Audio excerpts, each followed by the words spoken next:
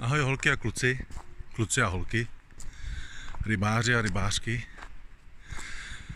Dnešní video bude zhruba do 10 minut si myslím. Chci vám ukázat, jak se ukládá pozice GPS-ková a fotka, když chytnete úlovek na Deepru. A druhá věc, kterou bych vám chtěl ukázat, tak vám ukážu, to bude v druhé části videa. Uh, možná to bude vidět, Tady mám v zátoce klidný, ale vzadu fouká vítr jak hrom. Jsou velikonoce, takže víte, jak to venku vypadá dneska. A koukneme se taky na to, jak echolot zvládá vlny. Hodně lidí říká, že ve vlnách ztrácí signál, že mu to nedokáže najít GPS a tak dál.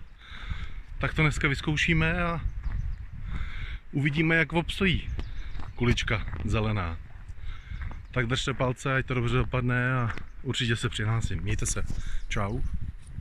A někdo chtěl ukázat, jak se dělá uložení lokace a tak dál.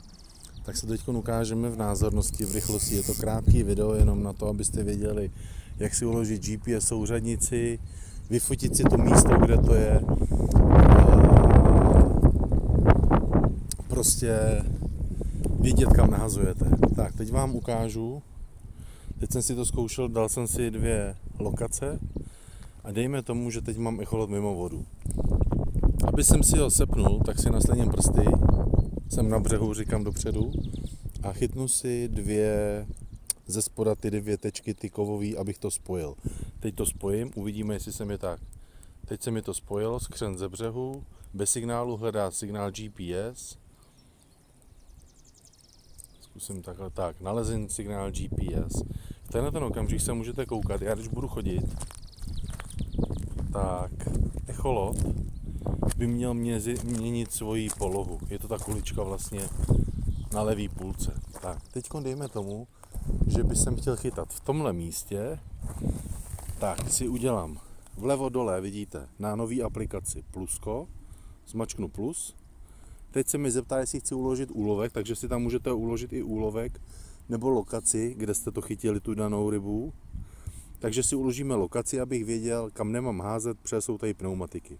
Takže dáme uložit, potvrdíme,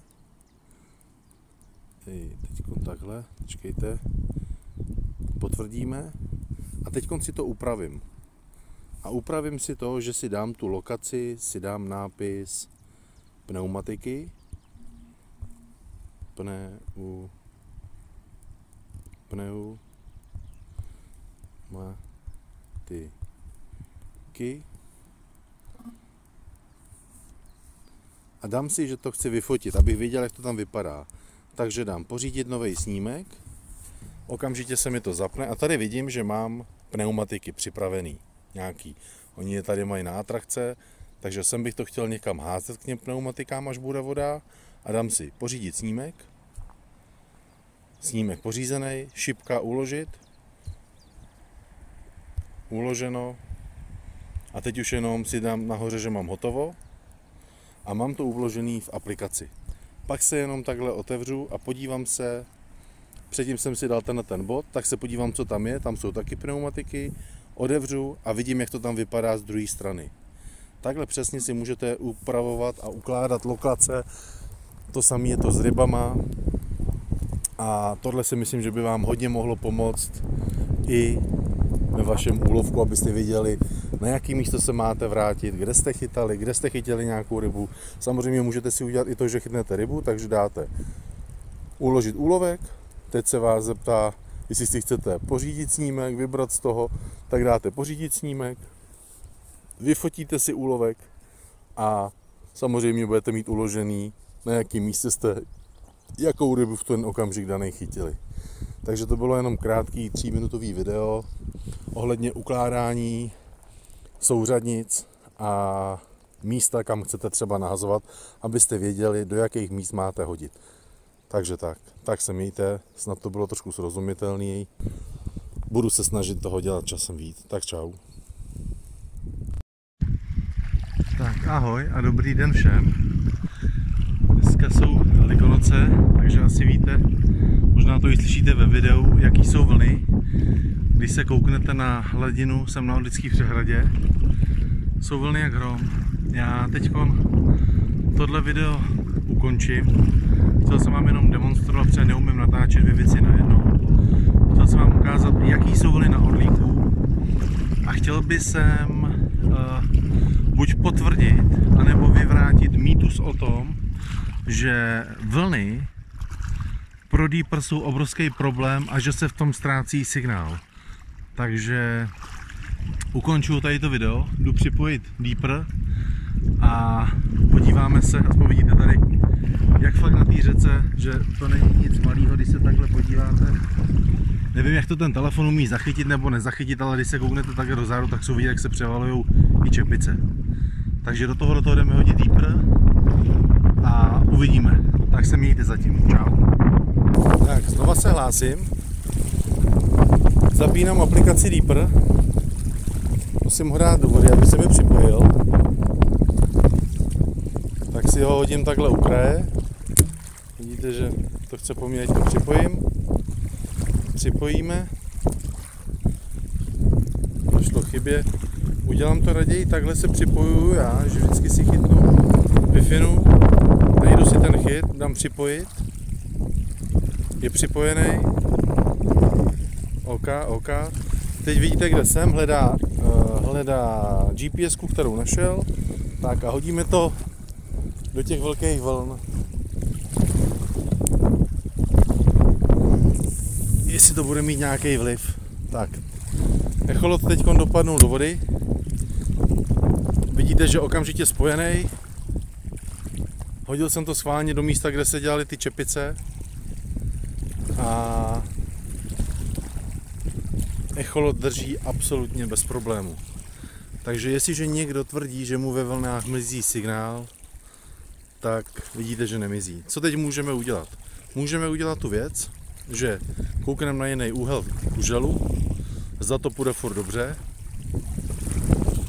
signál nevypadává, i přesto, že jsou velké vlny. Dole vidíme nějakou rybu, zhruba v sedmi No ani ne, teď jde ze 7 metrů jde nahoru a nahoře další ryba. Jestli se vidíte, ty čáry jsou ryby.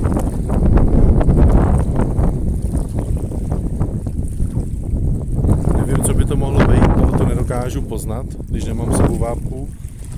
Ale jsou to jako dvě ryby u sebe. Jedna ze zhora, padá dolů, se potkali, padají dolů opět, takže myslím si, že to mohly být sumcí, protože takhle kolikrát reagují sumcí že se ten jeden splašil od druhého. Teď se zase vrací tady trošku nahoru. Malinko zkusím přitočit, protože se mi echolot odjíždí. A v levé části vlastně můžete vidět, jak těma vlnama echolot splavává a dělá za sebou tu mapu, nebo já bych to řekl nějak tak správně. Já když budu chtít si teď toto místo uložit, tak si dám plusko, uložím si lokaci, teď se mi uložila, dám si ji potvrdit, dám si upravit nahoře, klidně si ji můžu vyfotit, přidám si snímek, pořídit nový a teď vlastně můžete vidět, nevím, jestli to uvidíte, kde ten echolot má momentálně. Hmm, nevidím to. Počkejte, zkusím přetočit malinko. Jo, tady vzadu. Takže si dám pořídit snímek. Pořídil jsem snímek, uložím to. Tak a mám uloženou lokaci, kde bych mohl vidět nějakou rybu. Dám hotovo.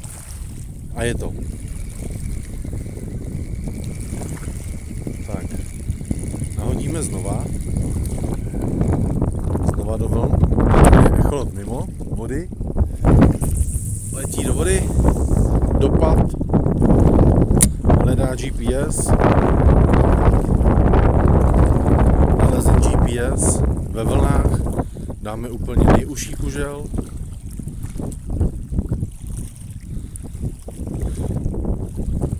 Tak a teď máte vlastně možnost vidět, jak to vypadá přímo pod váma.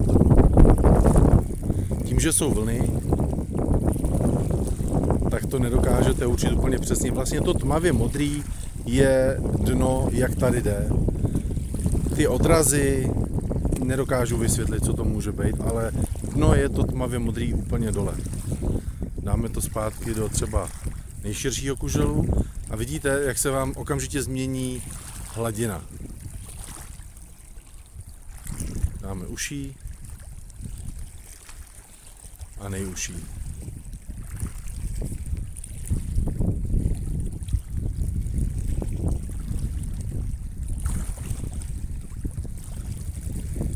Tak, pozice nebo panáček, kde stojím já, je GPS z telefonu a kulička je GPS z echolotu.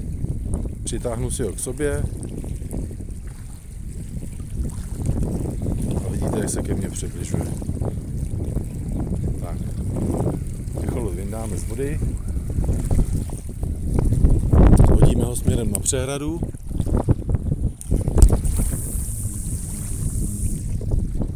teď dopad, hledá GPS, nalezen. Tak a tady vlastně se můžete podívat, že tady je přímo přehrada, tady stojím.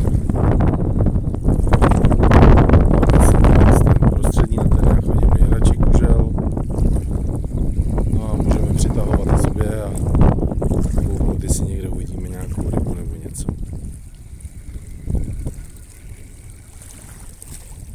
Takže tímhle tím jsem chtěl potvrdit anebo vyvrátit vlny, vliv vln a větru na Sonar Deeper Chirp Plus. Vidíte, že vliv to nemá. A to je tak všechno. Takže kdo o tom uvažujete, dole pod videem vám dám eh, link,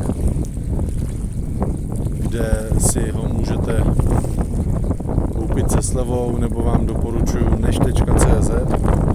Na těch, těch stránkách si ten echolot můžete pořídit taky tak, přímo od pěti to už.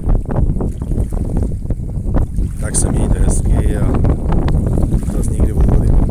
Mějte se, ahoj.